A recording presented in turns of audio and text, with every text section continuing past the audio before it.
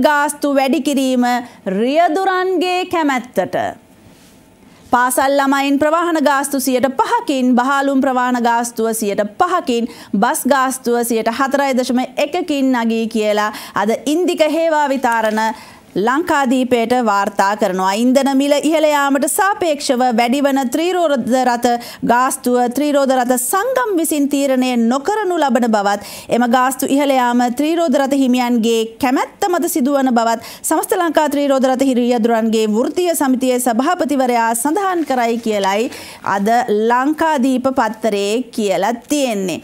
දැන් ත්‍රීරෝධ රථ හිමියන්ගේ කැමැත්ත පරිදි මේ ගාස්තු වැඩි කිරීම සිද්ධවීම එහි නියාමනය මොකක්ද කියන ප්‍රශ්නය මගීන්ට ඇති වෙනවා.